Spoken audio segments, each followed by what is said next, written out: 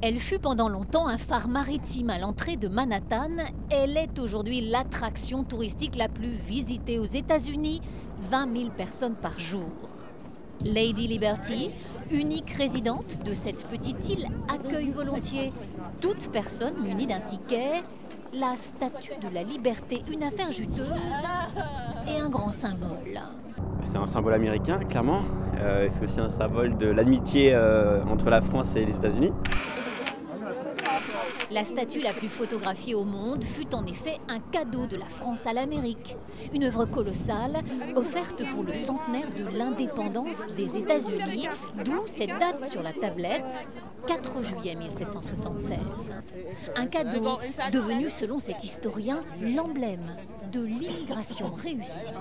En quelque sorte, la statue de la liberté est devenue euh, une immigrée américaine. C'est-à-dire que elle a commencé par être française et elle est devenue complètement américaine et je pense que Bartholdi s'attendait pas à ça.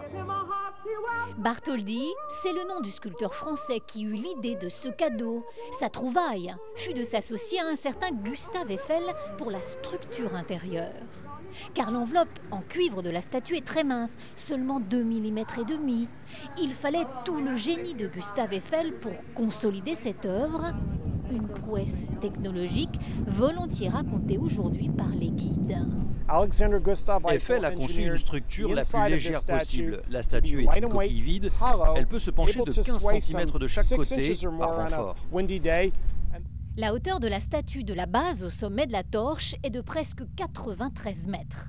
Dans le piédestal, des ascenseurs permettent aujourd'hui d'éviter les escaliers, mais pour accéder à la couronne, il faut gravir 354 marches. C'est l'équivalent d'un immeuble de 22 étages. Seuls 350 tickets sont vendus par jour pour la tête de la statue. C'est complet jusqu'en février 2014. Quand on monte, on voit bien cette colonne centrale. Elle est d'Eiffel. Cette colonne est entièrement d'origine et elle vous mène directement à la tête de la statue. Un endroit indiscret puisqu'on est sous les jupons de Madame, une toge de plaques de cuivre riftées.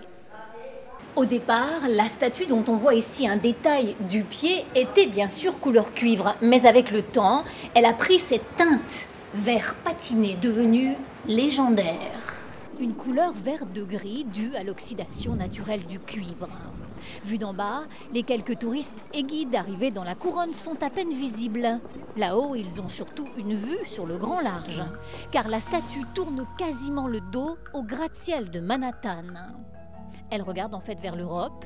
Elle fut longtemps le premier visage américain que découvraient les immigrants en arrivant en bateau.